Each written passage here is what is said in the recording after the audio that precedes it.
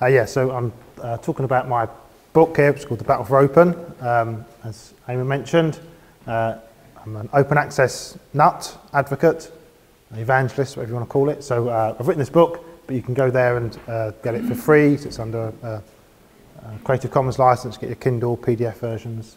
But, you know, feel free to buy a version. You know, don't, don't, really put you off. You know, that, that, that yacht doesn't buy itself. You know. Uh, so the kind of theme of the book, um, and this is the Chuckle Brothers, is that uh, there's kind of two arguments really. The First of all is that openness as an approach in education has, has been victorious in many ways. It's kind of moved from being a, a peripheral, a peripheral uh, interest that just a few people are into to kind of being part of the mainstream approach. That doesn't necessarily mean that, you know, that everyone's doing it all the time, and if you stop someone in the street and ask them what a MOOC was, they would know what you were talking about. But it, it's kind of moved from being just on the outskirts and just a, a kind of very special interest something that uh, impacts upon lots of areas of um, practice. So part of the book is exploring why that's happened and, uh, and across different areas, why it's interesting. But at the same time, um, having been victorious, it's almost like now is the time that the real direction of openness is going to be decided. When it was just a peripheral interest, it kind of didn't matter. You know, no one was actually that bothered about it. But now it's actually been victorious, then it matters to people. It has commercial value. So I want to talk about that. Um, so I want to explore some of those tensions that this kind of victory brings with it. Um, and there's some kind of interesting lessons, I think, from history there. So, you know, after a lot of these kind of big historical revolutions and the French Revolution, so, so they've been victorious, but actually it's what happens afterwards that's kind of really telling. So, and often afterwards, it doesn't feel much like victory. So if you're around in France after the French, French Revolution, it kind of got quite grim for a while before it got a lot better. So, and actually what happened during that period was, was what actually went on to decide and determine the nature of the French Republic. So, uh, in this talk, I want to first of all say about why I've used that term of a battle because some, I think some people are uncomfortable with the kind of military language, but I think there's, there's certain things that come with that metaphor that are worth exploring. I want to take a brief kind of detour into talk about some of the roots of open education because it's a, it's a quite a, a nebulous term in many ways, uh, and then explore some, some of those battle fronts that we talk about, I'm going to talk about, uh, looking at a particular aspect, so open access, MOOCs and OERs, and then some uh, conclusions.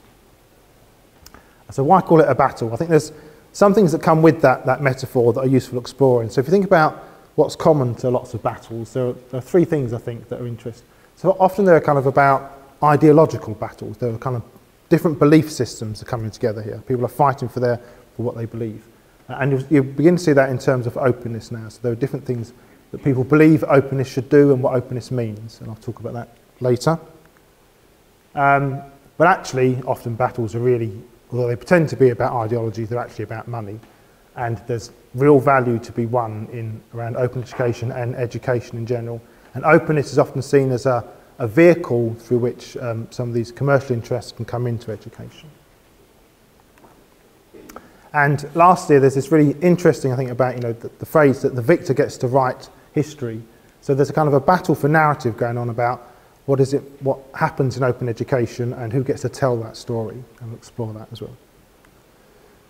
So uh, my detour is to think about uh, where did open education come from? Because um, when you talk to people about open education, they'll often have a kind of implicit definition in their head, and depending on what, where they think it came from, that will emphasize different things to them. So there are three kind of influences, I think, in modern open education.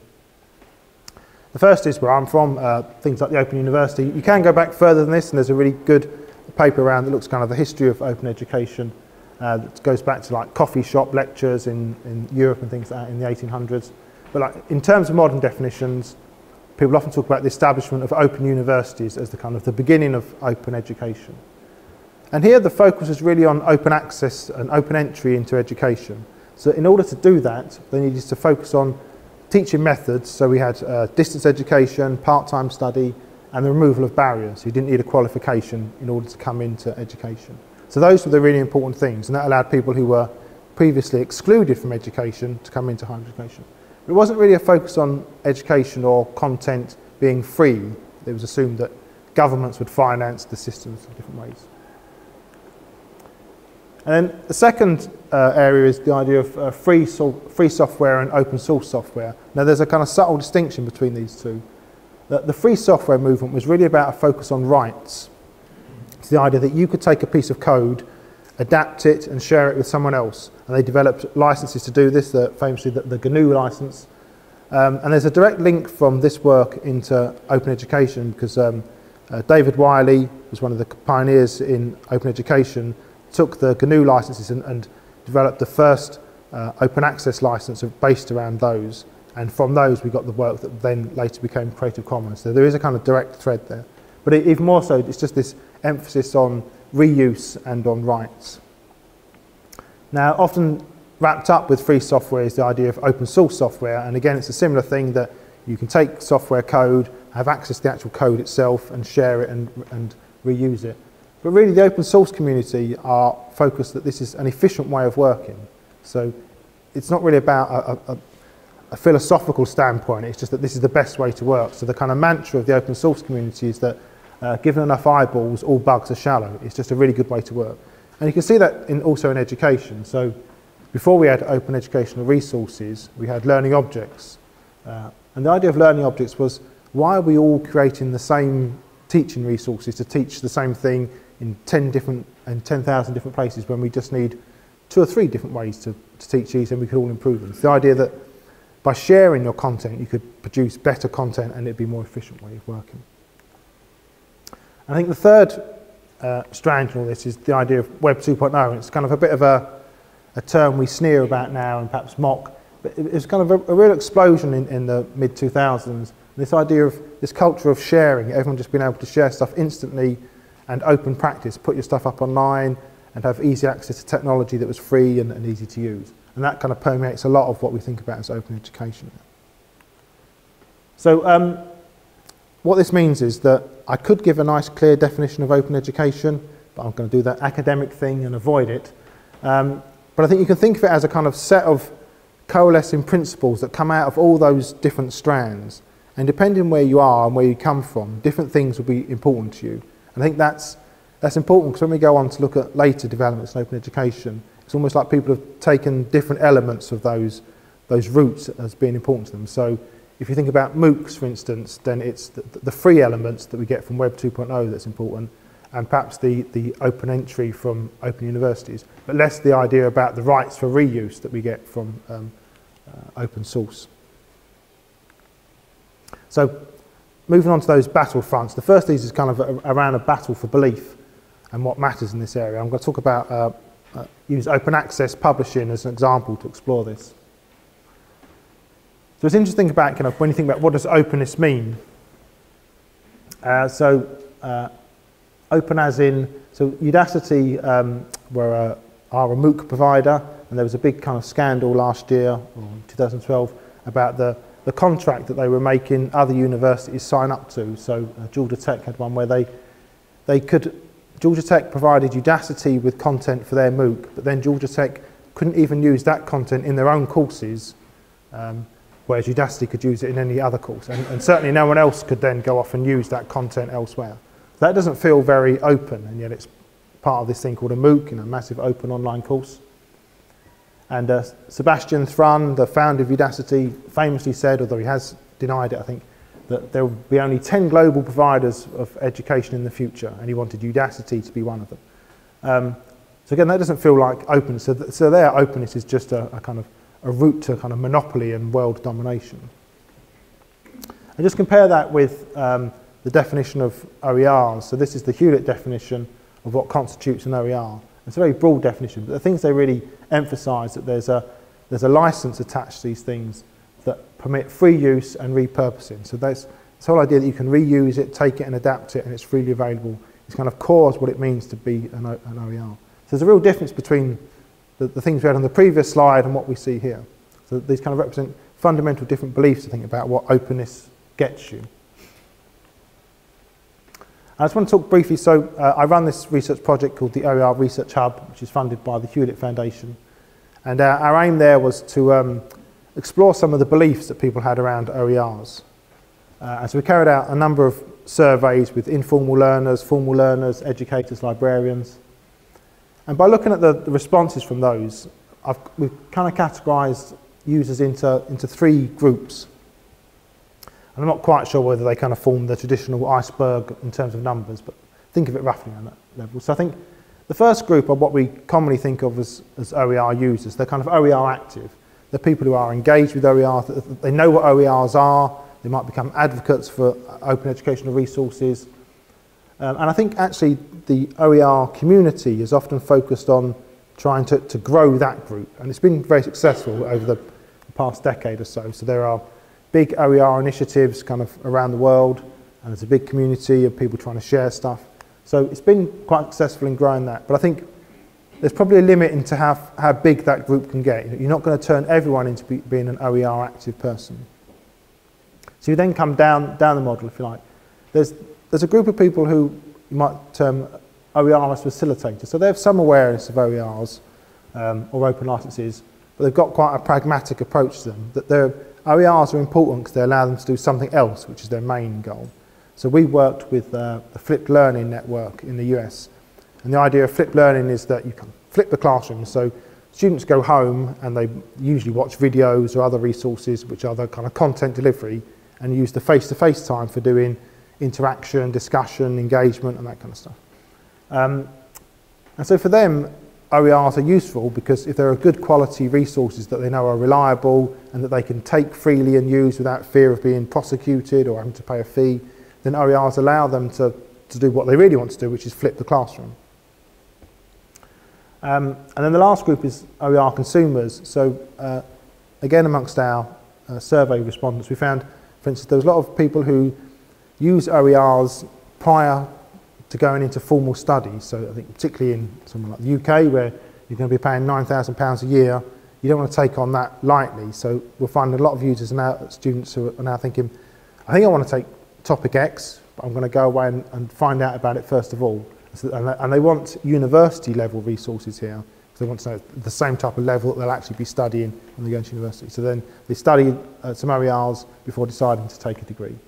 And then once they're in a degree, we're finding quite a lot of users, uh, students who are using OER to supplement their studies. So they may be studying at one university but watching lectures from Harvard on iTunes U whilst they're there as well. So, so these, these type of people, they're not that bothered about licenses. They're probably not going to reuse the material particularly. But they want to know that there's good quality material out there that they can find and is of the appropriate level and um, a kind of good brand. And what happens is, I think for that first group, OER Active, um, they'll always go, they know what openness means and they'll, they'll look for licenses and they want to pursue that. But I think for the other two groups, if you have things that aren't really open, you lose some opportunities. I think that flipped learning uh, group are a good example there. So you could imagine a publisher say to them, look, you know, we're going to, do you want to flip your classroom? We've got a nice package solution that allows you to do that. Come to us, sign up for a, a subscription, and we'll teach you how to flip the classroom. You have access to all these uh, resources which are great, and they relate to, in the US, the Common Core, say, and it's a nice bundled solution.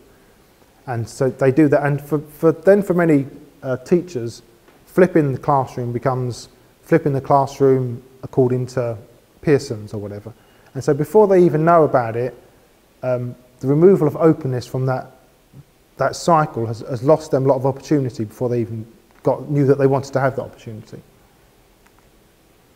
So I think it's worth thinking about what does openness get you and then what you might lose from it. And I think that going back to the idea that it comes from a number of different strands, there's a number of things that it gets you as well. So there's a kind of altruistic thing about it, where generally universities are part of a social good and giving away content um, freely so that you can democratise education is, is a good thing to do. So there's a kind of nice thing to do there. that doesn't always go so well with vice chancellors who are looking at budget lines.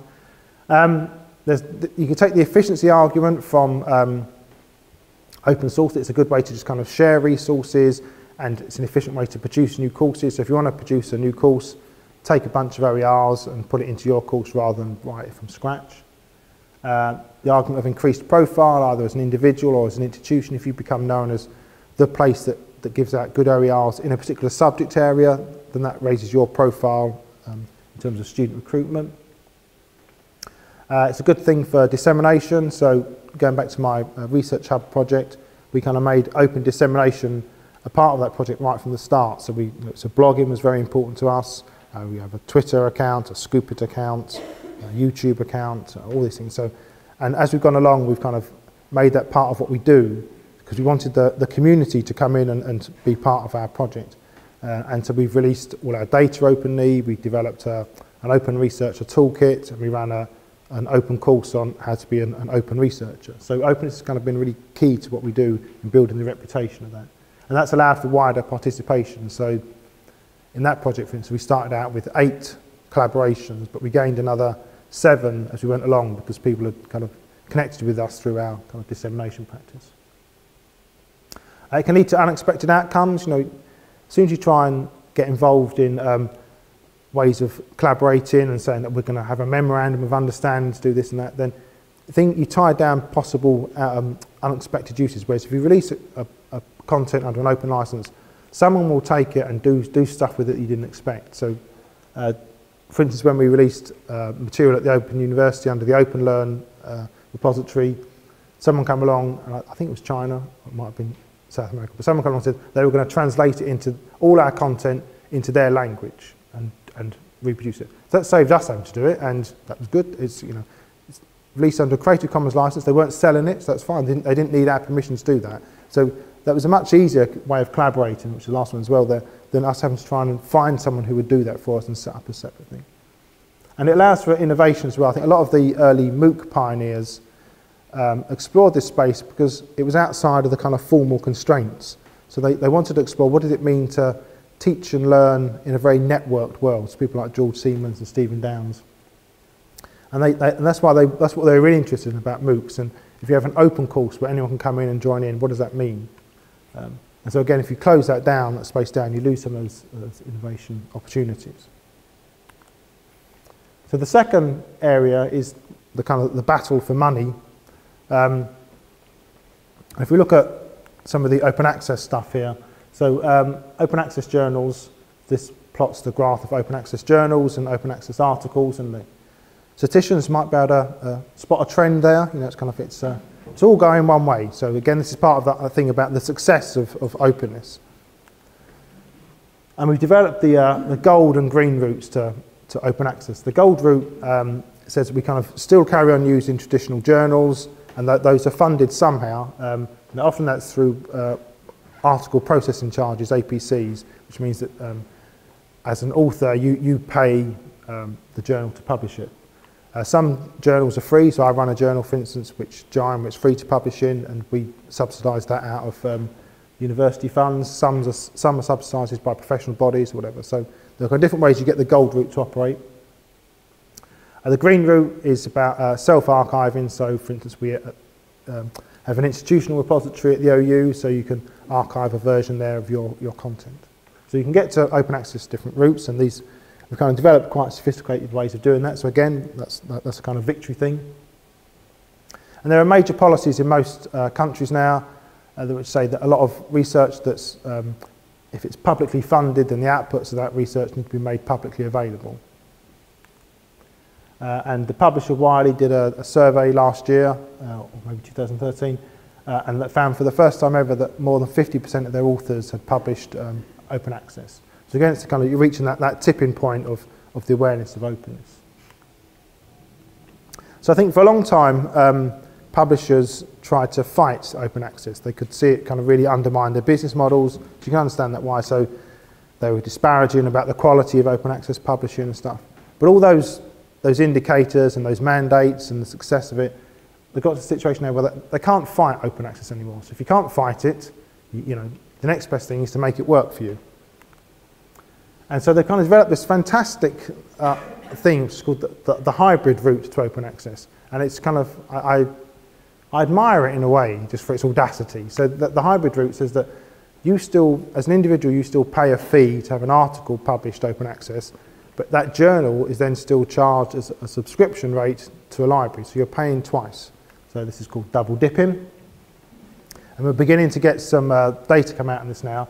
So just for the Wellcome Trust in, in 2012-2013, um, they estimated that uh, academics spent 3.88 million uh, paying to have articles published in open access journals, of which 3.17 million was then paid again by uh, libraries to have access to it. So you're paying twice that stuff.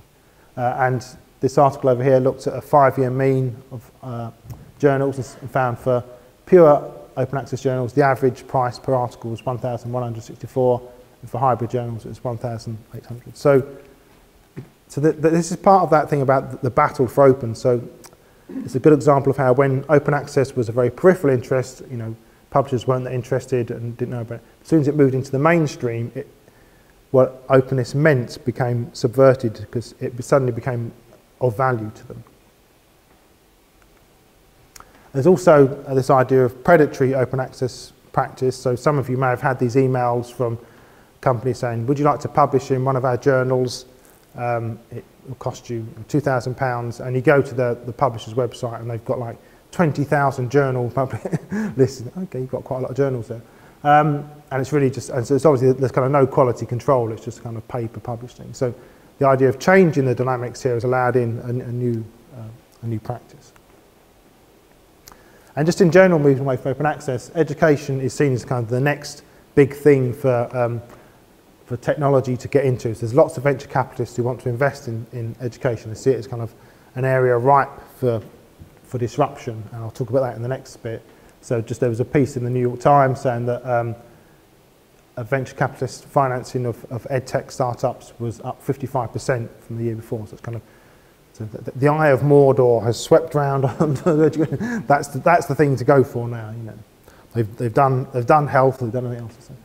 Um, so this leads to what people have termed open washing, and there's a nice analogy here with with the green movement. So there's a term called greenwashing, and the, the, so when when the green movement was just kind of hippies that no one really cared about and didn't have any value, it was okay. It was on the periphery. But as soon as it became valuable and had market value, then people wanted to get a piece of it. So, you know, you often see products advertised as being natural or green and stuff. And we had the, the British Petroleum advertising campaign, which was beyond petroleum with kind of lots of green leaves growing everywhere. And so it's the idea of trying to use greenness in order to sell your product.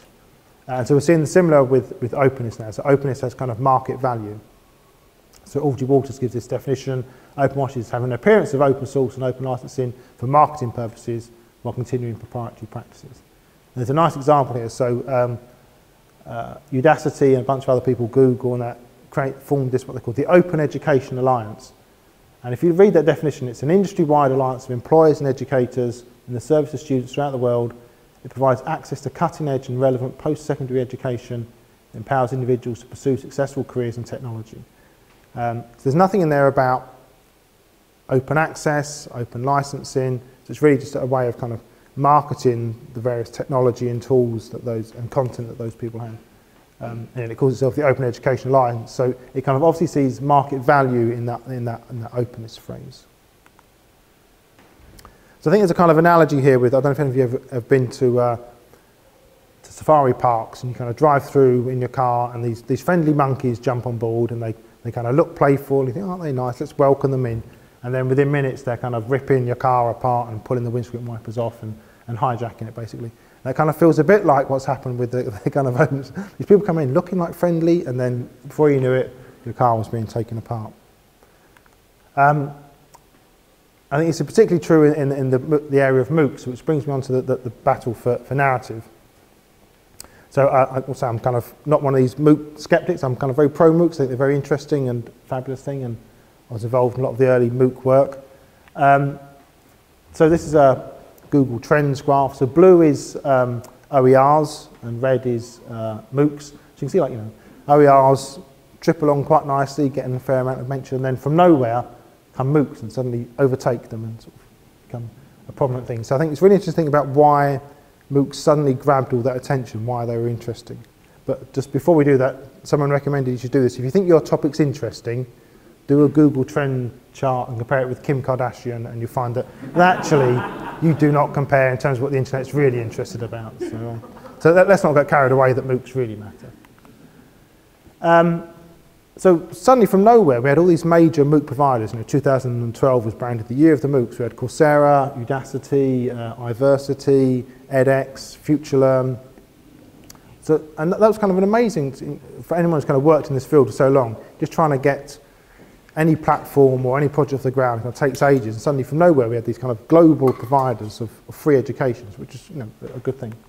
And the, the millions of enrolments, I forget what uh, Coursera, which is the biggest provider up to now, but it was sort of 17 million or something. So, and, and now we do know a lot of those enrolments never actually turn into people who actually come along to the course, and even fewer actually finish. But even so, it's, you know, it's impressive numbers. So, so there's something happening here. Um, and they managed to get major media coverage. You know, you'd be lucky to be able to get the person sitting next to you to, to listen about open educational resources, and suddenly you're being phoned up from Newsnight, and there is in the New York Times to talk about MOOCs and stuff. So there's kind of real media interest in what this was all about. So all that's kind of good stuff, I think, and, and that really raised the profile of open education and online learning uh, all round. So uh, George Siemens said, if education was grunge, then MOOCs were its nirvana. They were kind of the, the breakthrough act that suddenly everyone noticed. I'll skip that one. Um, so I think there's a very interesting thing about the, so MOOCs in general, no problem with, but there's interesting about um, why that narrative was so successful around MOOCs. And I think it ties in with what you might call the, the Silicon Valley narrative, which is a kind of very tech-driven, tech-deterministic way of viewing the world. Uh, so in the education world, there's there are a number of things that kind of came together. First of all, there's this commonly quoted belief you often see around that education is broken. It's often stated as just kind of like plain fact, you know. Um, so I don't know if any of you read the, the Avalanche report that was out last year from uh, Pearson's, which was looking at uh, higher education in the UK. Uh, and th- at the start of it, they say the models of higher education that march triumphantly across the globe in the second half of the 20th century are broken. Uh, Clay Shirky said the education space is massive, very broken. Um, there was a company called, there's a company called Degreed.com who ran a campaign that said, education is broken, someone should do something, you know, that someone being them.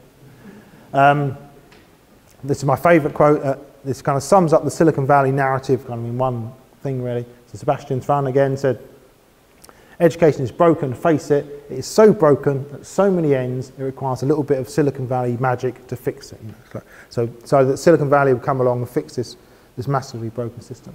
But they very rarely say what it is that's broken about higher education. And often when they do start saying something, what they usually mean is higher education funding is broken, uh, which is, I'm perfectly happy to have a, a good conversation about how we fund higher education, but it's a very different thing from saying education. Uh, and at the same time, there's this obsession with Clayton Christensen's theory of, of disruption. So I don't know if any of you have read Christensen's work. So it was a very good work. His, his first book about disruption called The Innovator's Dilemma was saying that when you've got a company, you can focus on what he calls sustaining technologies, which is taking the existing stuff you have and making it better. But every now and then something comes along that's disruptive, that first of all appears not to be as good, but actually reaches a completely different audience. And uh, the, the personal computer is a really good example of that. You know, IBM were focusing on making their mainframes better and better, and then the PC came along and completely changed that world. And, and the digital camera is a really good example again. It kind of completely changed the way we uh, think about that, that, industry. But people have become obsessed with disruption, and you hear it talked about all the time. But, and it's always a good thing for start. You know, so this thing is disrupting the sector. Um, so education is seen as an area that's ripe for disruption. So uh, Christensen himself looked at schools and said, disruption is a necessary and overdue chapter in our public schools. Um, again, that Avalanche report justified itself by saying elements of the traditional university are threatened by the coming avalanche. In Christensen's term, universities are ripe for disruption. Uh, and this person was criticising OERs because they have not noticeably disrupted the traditional business model. So their disruption is the only mark of success in many ways. It's like, so OERs might have been useful, they might have helped people learn, they might have contributed lots of things, but because they haven't disrupted higher education, they're kind of, it's dismissed. So what this creates is a kind of, uh, I was doing I was doing a Mickey take of the of the of the degreed programs. They they asked, they asked you to hold up a photo saying education is broken, someone should do something. So I was uh, I was mocking their campaign there. Um, so all these kind of elements came together to create a kind of irresistible story around MOOCs really. So we have the idea that education is broken. So there's, there's a fundamental problem that needs to be fixed. Um, and that, that's very different from saying that there's opportunity in education. Because if, if education is broken, then the whole thing is ruined and you need someone to come along and fix it. Whereas if you're saying there's opportunity within education, then that's often something you might expect people inside to take advantage of. So it's a, it's a different rhetoric between kind of crisis and, and opportunity. Um, So it's broken, it's ripe for disruption, and disruption always requires wholesale change. It's, it's not, no one says they want to come along and make things slightly better in technology terms. They kind of want to be disruptive in that market because disruption leads to uh, a kind of monopoly often. Um, and what they always want is a, is a technological solution, and MOOCs were seen as a technological solution. So Sebastian Thrun had come from Google, They've kind of had all these kind of fancy analytics and stuff. And, and the last thing is that they tried to promote it very much as outsiders with new ideas. So particularly in disruption and, and the idea of education is broken, it's no good people within the sector kind of doing it. You need these people coming in, charging in on white horses to kind of save the sector from itself. So they'll often put up people as um, Or, or uh, Salman Khan as people who come up with stuff. And, and ignore a lot of the inconvenient history around MOOCs, which was people within higher education who had actually developed them, people like David Wiley and George Siemens. And, and now we're beginning to see a very interesting thing, like because MOOCs are deemed to have failed because they haven't disrupted higher education. Uh, so this book out called The End of College. Uh, so they're now creating a new narrative about why MOOCs failed. And incidentally, I don't think MOOCs have failed. I think they're, this, this stuff just takes time to kind of work through and we find what it, but they failed in that it's because they set themselves up as being completely disruptive and sweeping away the whole higher education sector because that hasn't happened. They failed, even, but they've succeeded in other ways. So this guy says, the failure of MOOCs to disrupt higher education, again, disruption is the only measure, has nothing to do with the quality of the courses themselves, many of which are quite good and getting better. Colleges are holding technology at bay because the only things MOOCs provide is access to world-class professors at an unbe unbeatable price. So MOOCs didn't fail because they didn't have a good support model or anything like that. Um, they failed because it was us, nasty people within higher education who kind of wouldn't let them succeed. I think there's a really interesting thing about um, if you let other people begin to tell your story around this, then it changes from what you would you would want. So, um, so uh, this again after setbacks, online courses are rethought. So not only are we talking about MOOCs and openness, but MOOCs have now become synonymous with all online education. So you might have a perfectly good e-learning program um, that's nothing to do with MOOCs, but it gets wrapped up in this whole kind of MOOC uh, profile now. And so then people say to you, but online learning, we tried that and it didn't work. Yes, and so e-learning equals MOOCs now. And, and you saw, and you saw this slightly also with people rebranding everything to be a bit MOOC-like. So we had SPOCs, which were small private online courses. Like how is that not just an online course? So, but by rebranding it kind of in, in a MOOC light, then you could probably get funding for it. And I think the other interesting thing that happens around when you have this kind of big rhetoric is that it creates these kind of false dichotomies. You're kind of forced into one or two camps. So I know a lot of people who have got so fed up with the kind of MOOC hype that they've kind of become against all MOOCs or against online learning and stuff, and, and it kind of forces you to go into extreme camps, really you become good versus evil unicorns kind of thing, and, and there's kind of you're fighting over it. And actually, the reality is always much more nuanced than that, and somewhere in the middle. Uh, so I just want to? Uh, finish up by thinking about some lessons from the from the VLE or LMS, um, which I think we can bring to this. So. Uh, I, I, was the VLE director at the Open University for a while, so I think VLEs in general were a, a good thing, and they kind of really allowed us to move very quickly um, into e-learning adoption. And they were a very useful tool for a lot of people who for whom e-learning isn't their primary interest you know which is great you know so they're a good tool and you can have a universal system across the university and very quickly get somewhere with e-learning. But the, the problem was that we kind of outsourced the thinking about them I think by allowing other companies to come in and develop them and as soon as you adopted a platform e-learning became the platform. So it didn't become that I'm doing e-learning, it's, it's that I'm now the, the Blackboard person. So, and a lot of education technologists got caught up being the person who's in charge of running Blackboard. And you get this idea of kind of a sedimentation of thought and process, institutional process, builds up around the system itself. Uh, so uh, Jim Groom and Brian Lamb uh, wrote a paper last year sort of complaining about how um, the VLE had really been the, the source of a loss of innovation in higher education and they've seen similar things happen now around openness. So they kind of le leveled five charges against it. Um, so the idea of kind of it privileged a, a, technology management mindset. The idea that you had to control things that were happening with the VLE. It's called a learning management system. Um, it creates silos, so you don't so you keep people within inside stuff. They don't go out into the world and explore the, the ideas of openness. Um, missed opportunities. So le learners use a system which isn't really like anything else. They then go on to use. So they learn how to use VLEs rather than they learn how to become proficient in e-learning or managing their online identity or uh, exploring possibilities.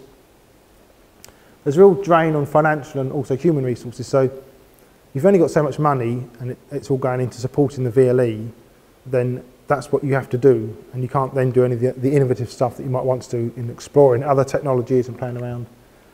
Uh, and the last thing they say they claim was that um, there's kind of a loss of confidence. So you have all these education technologists who are then required to manage your, your VLE system. And they kind of lose confidence then in going out and exploring other technologies and trying out other innovations. So I think it's an interesting lesson here for openness and uh, about who owns openness. In that, that you kind of get so far by outsourcing it and that gets you a good way down the line in terms of mainstreaming, but that should only be the first step rather than the, the kind of end point. so in conclusion, um, openness is not just a peripheral interest now, I think kind of impacts upon lots of what we do in our, our practice, whether that's teaching, research, public engagement. Um, and it's really about a, a battle for ownership now. It's kind of who owns the, the future direction of, of, own, of um, openness. And I think it's the question to ask yourself is kind of, what can openness do for me? What's important that openness could allow, facilitate, encourage, uh, and in order to protect that, what would I need to do? So I'll end with uh, kind of the, the, the, summing up bit in my book. That's it. And I asked, having won the first battle, that openness is now a kind of effective way to operate. It's essential the second battle regarding its future direction is not lost by abdicating responsibility and ownership. Uh, but then I, I wimp out, I don't actually tell you how to do that. So the, kind of, so the big question, I guess, is, is how do we do that? But I think that will vary depending on what your interests are. And just some uh, links there. That's me done.